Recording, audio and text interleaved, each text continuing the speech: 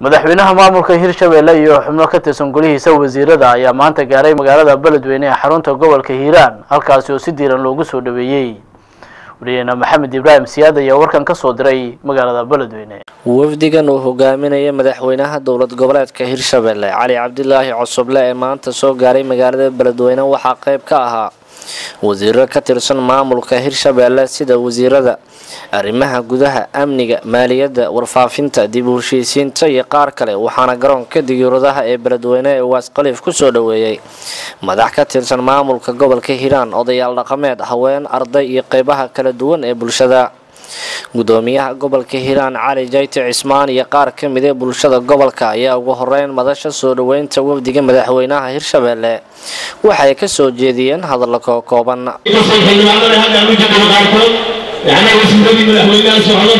eh, inaan maanta soo dhaweyno taasunbaa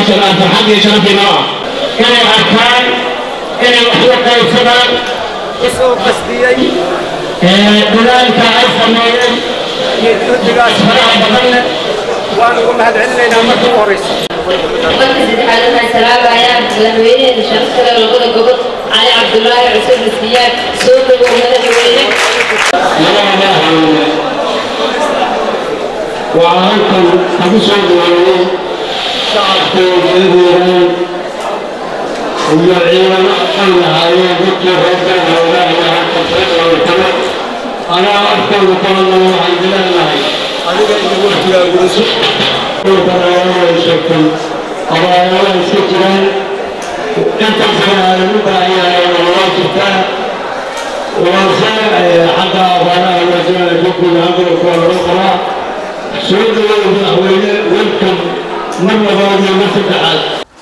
wasiirka arrimaha gudaha maamulka hirshabelle maxamed cali cadle ayaa sheegay in beledweyne ay u yimideen ukuurgalka abaaraha ka jira gobolka hiiraan iyo weliba arrimaha maamulka. Intaas kadib waa idin nimid. Waxaan idinkugu nimid inaan idinla qaybsanno murugada iyo dhibaatada abaaraha. Wixii aan wadnana idiin sheegin waxaad noo sheegaysa inaan idinka dhegaysan madaxweynaha maamul goboleedka hirshabelle cali cabdulaahi cosoble oo ugu dambeyn war ka qaatay ayaa shaaca ka qaaday in wasaaradaha hirshabelle qaarkood ay xarumo ka furan doonaan magaalada beledweyne si shaqa abuuris loogu sameeyo shacabka.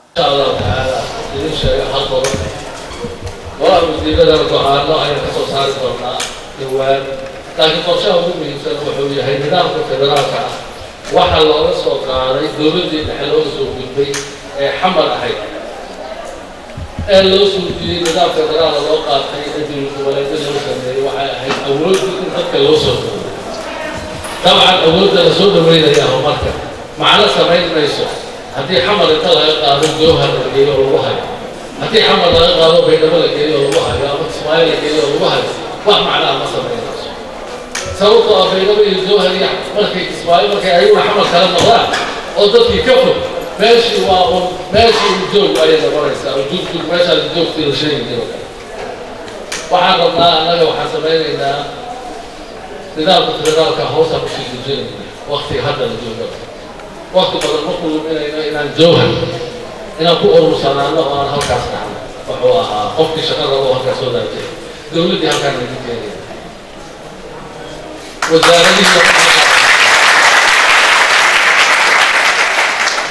waxa waaye hiiraan iyo shabeellaha dhexe oo ah labada gobol ay ka kooban tahay dowlad hadda u dhaxaysa oo golaha wasiirada ka kooban ayaa iyaduna jowhar fadhinaysa laakiin halkan waxaa laga dhisayaa oo laga samaynayaa wasaaradihii iyo idin aqoon-yahanadiina iyo dhallinyaradiina lagu shaqtay waxaan furaynaa xafiisyada wasaarad kasta dhallinyarada wax baratay dhallinyarada jaamacadaha ka baxday kuwa dugsiyada sare ka baxday beledkan ku nool. Maanta magaalo kale xamara xataa qaarkood ay ku adag tahay inay ku noolaadaan oo ay joogaan oo ay shaqo ka raysiciyaan maxamed ibraahim siyaad tv-ga kalson beledweyne